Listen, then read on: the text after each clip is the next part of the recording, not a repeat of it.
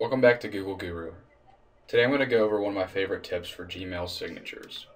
So first I'm just going to show you what your signature may look like right now and then I'm going to show you some options that you have to change it. So I'm going to open up this email right here. As you can see there's a lot of text here and it's actually been forwarded back and forth quite a bit. So when I go down here to reply, I can click on the ellipses right here to open up and see the content that will go with my reply. So you can see all of this forwarded content, but if I scroll all the way to the bottom, you'll see my signature. So in this case, when I'm replying to an email with a lot of other conversations going on in the thread, my signature will get moved all the way down to the bottom. So that might not bother some of you, but some of us like to have our signature right behind our actual reply so people have a stronger feeling of exactly who the message came from. So let's go into the Gmail settings.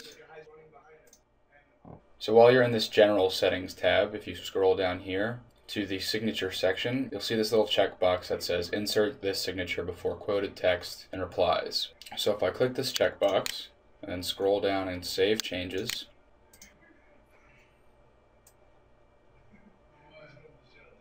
and if I make a new draft of that email, I'll click on the ellipses again, and my signature is right here at the top. So that's just another option that you have for Gmail gives you a little bit more customization and you can control exactly where your signature appears when you're applying to a message. So that's all I have for you today. If you have any questions, please leave us a comment in the section below the video. Thanks.